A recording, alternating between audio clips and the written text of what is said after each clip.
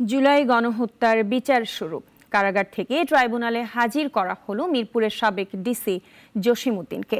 পুনর্গঠনের পর ট্রাইব্যুনালে এই প্রথম হাজির করা হলো পরোয়ানাভুক্ত কোনো আসামি। ভুক্তভোগীর দাবি, ন্যায় বিচারের। অলিল রানের রিপোর্ট। দু হাজার চব্বিশের বৈষম্যবিরোধী আন্দোলনকে ঘিরে সংগঠিত হওয়া মানবতা বিরোধী অপরাধের বিচারে দুহাজার দশ সালের পর নতুন করে আন্তর্জাতিক অপরাধ ট্রাইব্যুনাল পুনর্গঠন করে অন্তর্বর্তী সরকার। নিয়োগ দেওয়া হয় চিফ প্রসিকিউটর সহ প্রসিকিউশন প্যানেল।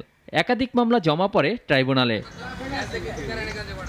সাবেক প্রধানমন্ত্রী, এমপি মন্ত্রী সহ মামলার আসামি হন আওয়ামী লীগের শীর্ষ পর্যায়ের অনেক নেতা। বাদ যায়নি আইন শৃঙ্খলা বাহিনীর ঊর্ধ্বতন কর্তারাও।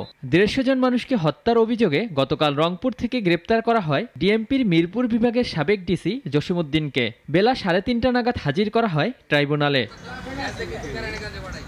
নতুন করে পুনর্গঠনের পরে ট্রাইব্যুনালে প্রথম হাজির করা আসামি জসিমুদ্দিন আসামিকে তার অপরাধ সম্পর্কে অবগত করতে হাজির করা হয়েছে আদালতে, জানান প্রসিকিউটর। গণহত্যা বা মানবতা বিরোধী অপরাধের অভিযোগে কোনো আসামিকে এই প্রথম ট্রাইব্যুনালে হাজির করা হবে। আমাদের আইন অনুযায়ী তাকে তার নাম, ঠিকানা জিজ্ঞাসা করা হবে। তার, তাকে তার বিরুদ্ধে কি অভিযোগ সেটা তাকে জানানো হবে এবং এখান থেকে তাকে কারাগারে প্রেরণ করা হবে।